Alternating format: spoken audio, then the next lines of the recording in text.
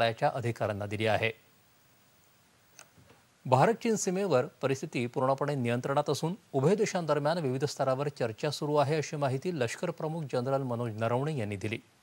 देहरादून इथं भारतीय लष्कर अकादमीच्या दीक्षांत संचलन सोहळ्यात ते आज बोलत होते. निरंतर चर्चेच्या माध्यमातून दोन्ही देशातले मतभेद दूर होतील असा विश्वास नरवणे यांनी यावेळी व्यक्त केला.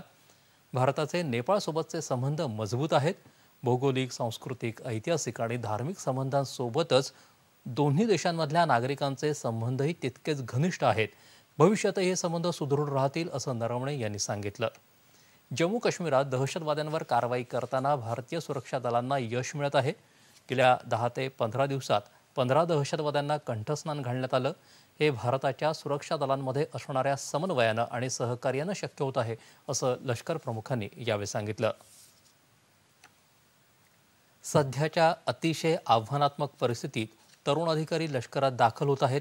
त्यांना मिळालेल्या उच्च दर्जाच्या लष्करी प्रशिक्षणामुळे समोर असलेल्या आव्हानांवर मात करण्यासाठी त्यांना मदत होईल असं ते म्हणाले.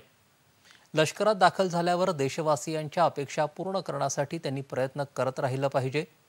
जेव्हा आव्हानं येतात आणि सर्व काही संपल्यासारखं वाटतं अशावेळी तुमच्यासारख्या तरुणांचं ध्येयच जिंकण्याच्या आशा निर्माण करतं असं त्यांनी या समारंभात मार्गदर्शन करताना सांगितलं. आजच्या समारंभात चारशे तेवीस कॅडेट्सचा लष्करामध्ये समावेश करण्यात आला. पंतप्रधान नरेंद्र मोदी सोळा आणि सतरा जून रोजी देशातल्या